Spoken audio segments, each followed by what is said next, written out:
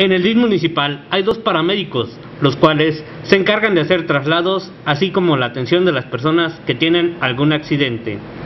Así lo dio a conocer Yukov Osiris López Alfaro, paramédico de esta institución. Bueno, aquí la presidencia dispone de dos ambulancias que proveyó la jurisdicción sanitaria número 4.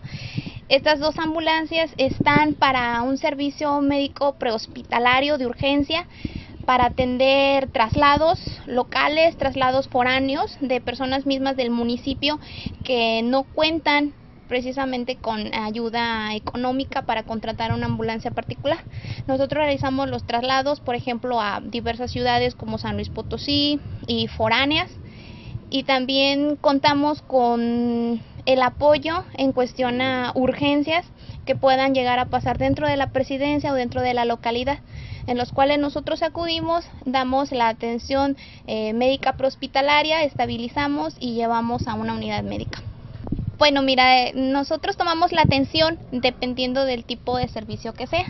Aquí es muy común ver choques, atropellados, personas de la tercera edad que sufren caídas.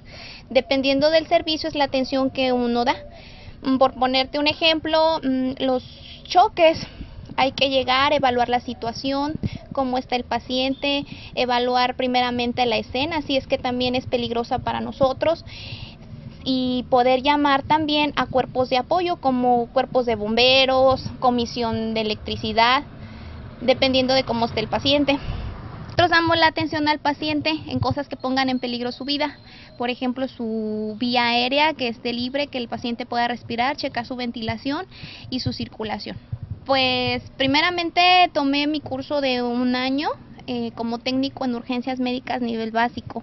Ya después de ahí nos, me he ido capacitando en diversas instituciones con otros cursos como es en el Hospital General. En